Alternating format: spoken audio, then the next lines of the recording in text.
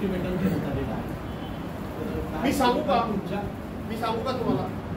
बरेच जण प्रश्न आणि आमचे लोक म्हणजे मी माझ्या पक्षाच्या लोकांसकट सांगतो. उगाच तोंड घालतात आमचे लोक. सर सरकारचा मंत्रिमंडळाचा विस्तार कधी होणार? पालकमंत्रीपद कोणाला मिळणार? अरे मरत नका ते.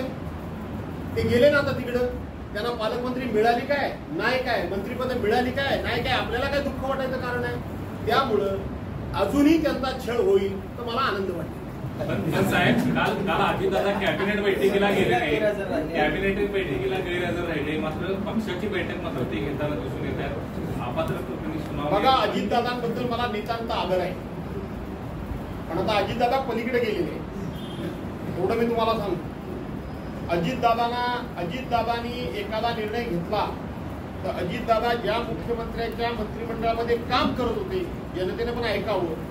त्या अजितदादांच्या निर्णयाला स्टे देणं तर सोडा. विरोध करण्याचं धाडस राज्याचा मुख्यमंत्री देखील दाखवत नव्हता. दाखवत होता? आज तुम्ही बघा अजितदादांच्या निर्णयाला स्टे कोण देत? राज्याचे मुख्यमंत्री देत नाही तर उपमुख्यमंत्री देतात.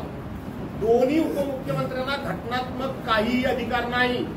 ना देवेंद्र फडणवीसांना ना अजितदादा पवारना. दोघे सारखेच आहेत. तरी सुद्धा अजितदादाच्या निर्णयाला स्टे देण्याचं काम देवेंद्र फडणवीस करतात. त्यामुळं दादांना बहुतेक त्यांचे दाखवायचे दात वेगळे दिसले होते. आता खायचे दात दिसत असतील एका बाजूला एका बाजूला.